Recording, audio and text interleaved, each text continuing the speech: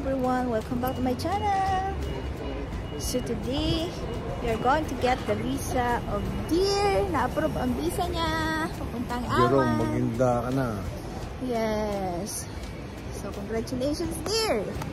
It will be your first time in Ireland. And So, we will see you mga lalabs in Ireland. see you in a week time. Wow, nakuha na niya yung visa niya. Ready to go. tongit, tongit. Tungit. Tungit. Dadayo ka lang ng tungit. Gagawa na ako ng listahan na lulutuin. Isang linggo. So at dahil walang bayad ang visa ni Dear, exempted siya sa fee, ay magpapakape siya dito sa Castelletto. Okay. Kakape kami dito. Mag-ice cream.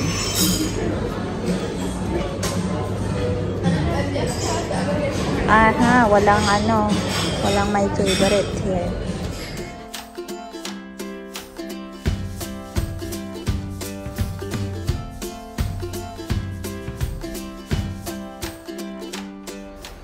Okay.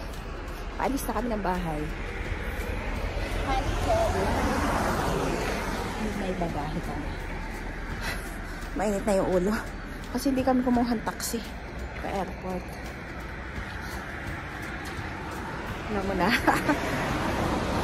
See you later. Okay, naka-check-in na. Gusto ko lang.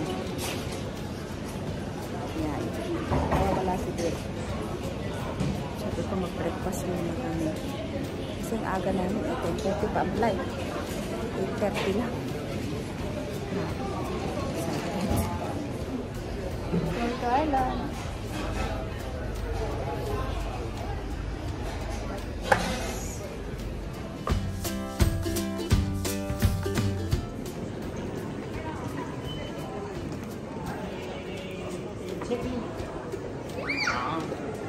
Tiri, pakita mo yung iyong boarding pass.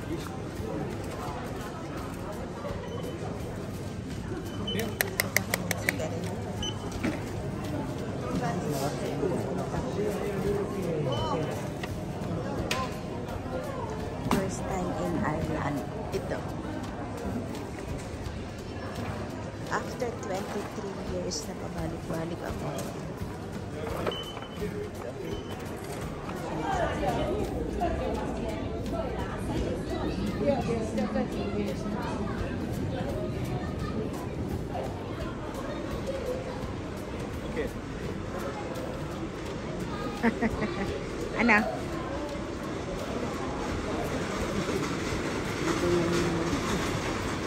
Ay, naku, nakangiti rin sa wakas. Transit side, nakasimahan.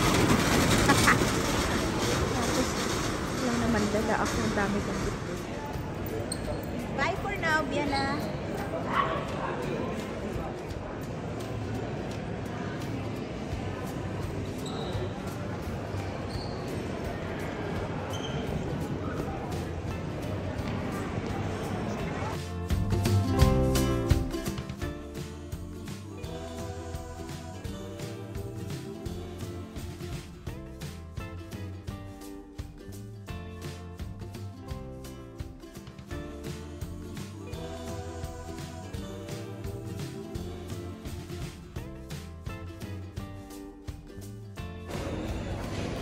Waiting for boarding.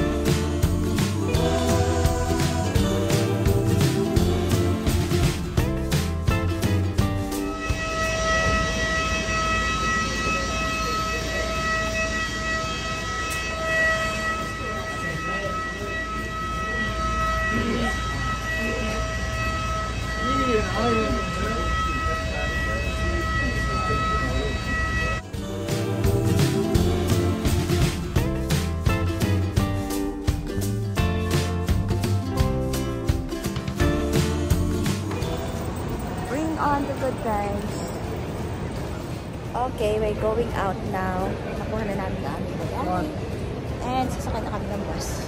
Tagal dito.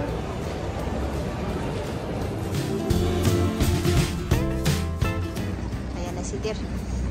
Nasa Ireland na. Mainit na ang ulo. Walang bukal sa bus. Puntang Galway na yan.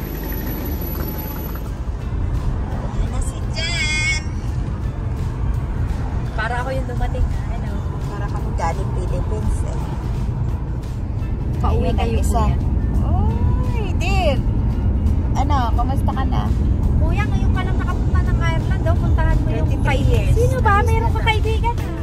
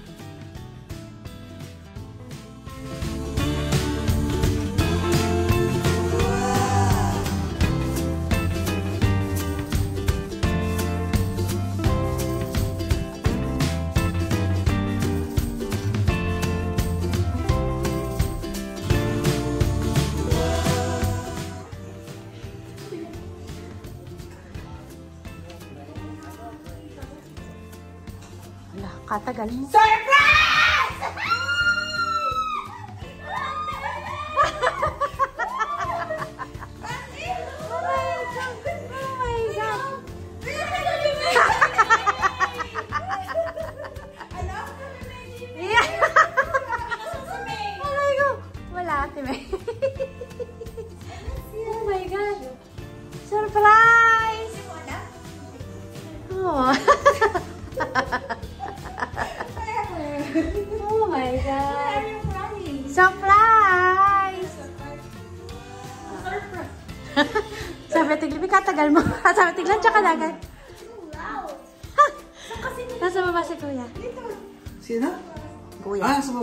Ay, te! Welcome!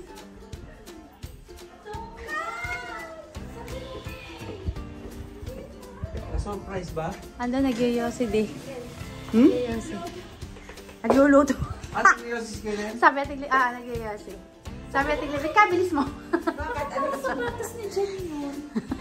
So, pati ako ba? Wala ka pala part-time. Na-surprise ka. Alam ko part-time ka. Wala.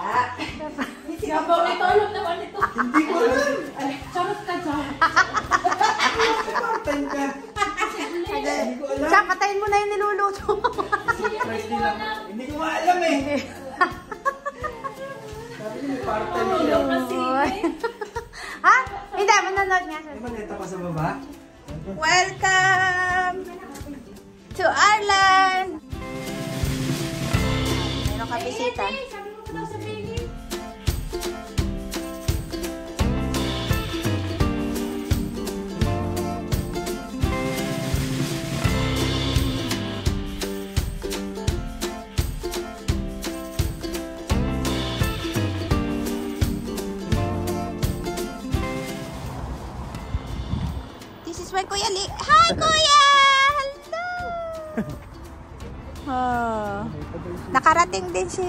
Oh, pasok, pasok. Sa ano? This is Sa- Kuya. One ano? Kami daw dumaan lang. Hi, Kuya! Hello! Halika, palabas tayo dito. Ayan anak ha, bahala ka na dyan. Thank you.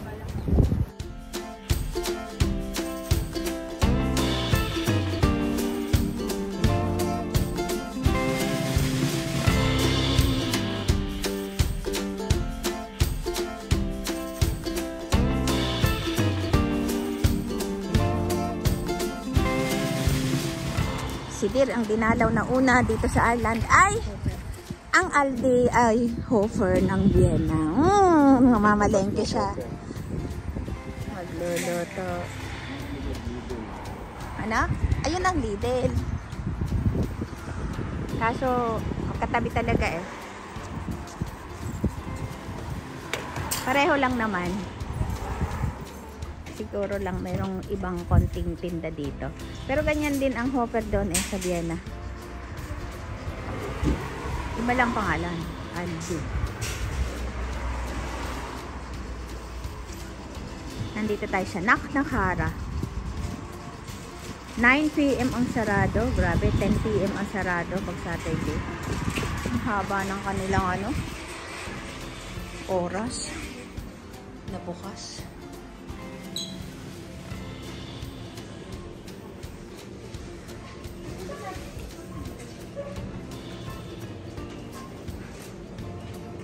Sige, mamili na kayo dyan. Uli-uli lang ako dito.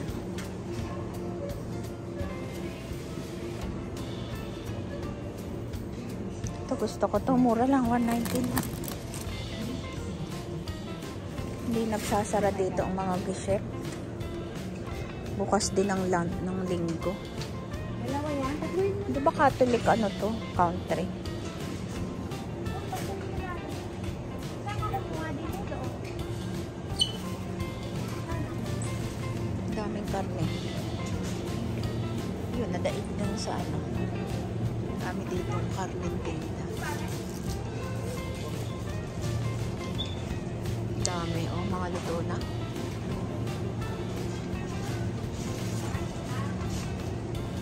Daming karne, choices.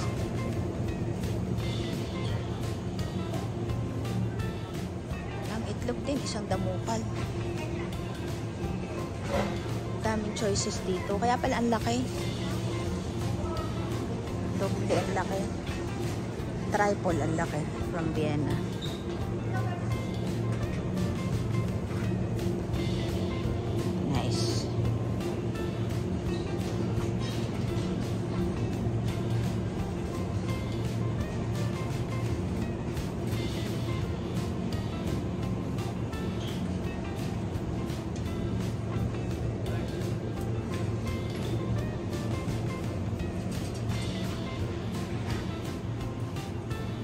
Tinapay, grabe ang dami.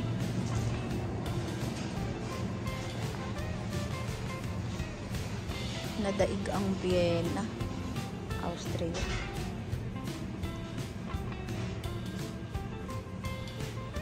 Tsaka mas mura dito ang tinda. Done with shopping. So, full ng ano, tatlong supot. 65 euro. Mura na siya. Mura dito ang bilihin kaysa sa Vienna. No? Goodbye, Aldi. So, kontento na si Dir. Nakabangalengke na. Mamaya, duto na ha.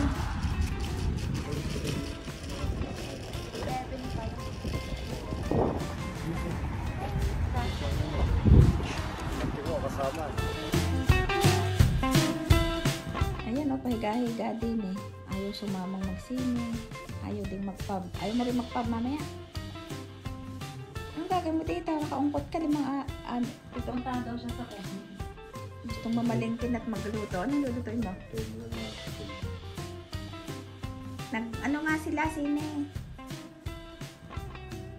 Naglalaro daw kayo ng tong 8, Jerome. Wala, ka lang sa pub.